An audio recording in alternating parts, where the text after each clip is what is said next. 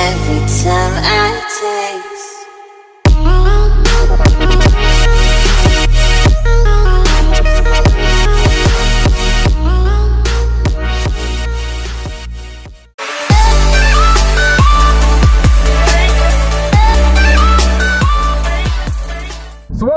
YouTube? Back in the car now, off to go train some chess as it is Monday here. International Chest Day for everyone around the world. Although if you're in America, it's probably still Saturday or Sunday. Sorry, can't even get my days correct. So going to be training chess today. I've got um, my little review channel up, so just trying to do a different little channel as well on the side. So that's just the Legends of uh, Legends of Muscle one, and that'll just mainly be purely focused on like supplement reviews and everything. So if you want, go follow that. Just search up Legends of Muscle, and it will be the first YouTube channel for that. So I've just put up some previous uh, reviews on it. So if you can't find them on my channel, you can easily just go there and they'll have it all up there for you. And this one will be purely just my workout uh, videos and everything just to really help you out for like trying to learn different routines or uh, different exercises and everything like that. So just really like zoning in on specific things for the channel just to make it in that category now. And a bit later on, I'll probably bring back a little bit of the vlogging in between uh, the workout routines, which is always good. But while it's a bit, I'm a bit quiet at the moment, I'm just keeping it purely focused on the fitness and everything like that.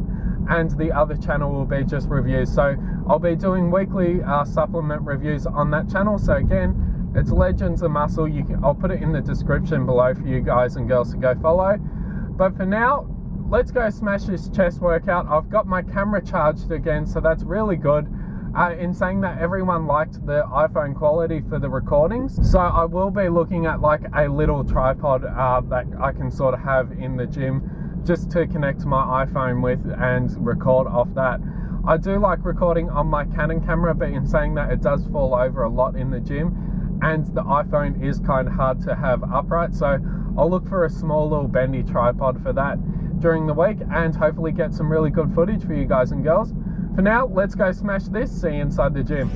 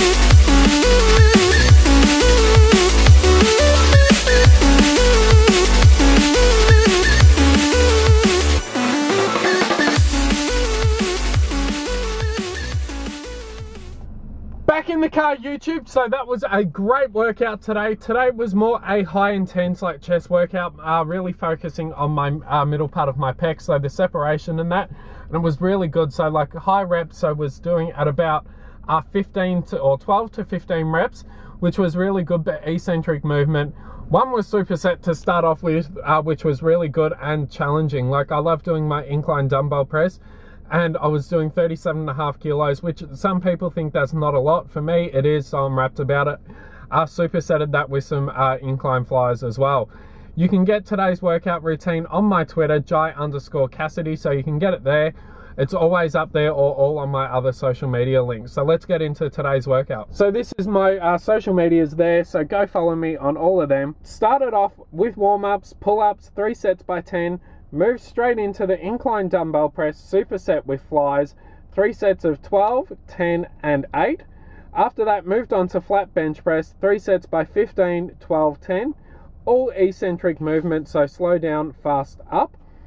After that, this is when we really started targeting the middle parts of our pec, was the cable flies, four sets by 15 upright crossovers, three sets by 10, and then finishing off with some single arm crossovers, three sets by 12.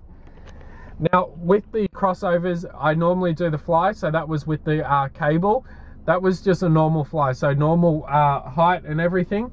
The upright one is on an incline, so pulling it down, so you're really targeting, uh, you're coming down on an angle and that one really works good for uh, building up that strength in your upper pec and everything. And the upright rows is always good. You can really feel it underneath your pec and really like tensing up between your middle part of your pecs when doing it. So you really get that separation between them it was a great workout today 60 second rest between each sets uh, I, some of them was a little bit quicker just because I really wanted to push it out and it was really good. So each one of them, make sure you're failing about two to three reps just before you hit that max. Like if you're going for 15 reps, try and fail at about the 12, 13 mark. So those last two are very hard to push out. If you can push out 15 easy, you know you've got too light of a weight or you're not pushing it hard enough. So like when I normally do a lot of this stuff, I like to fail around that lower part of the reps and really try and push out those last two. It also helps if you have a spotter.